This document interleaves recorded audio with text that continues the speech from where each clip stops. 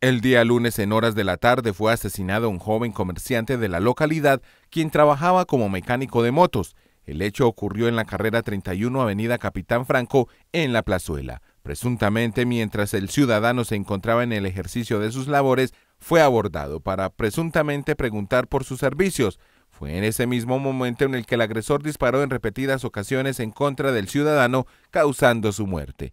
Las autoridades vienen adelantando acciones para conocer las causas del móvil y dar con el paradero de los agresores.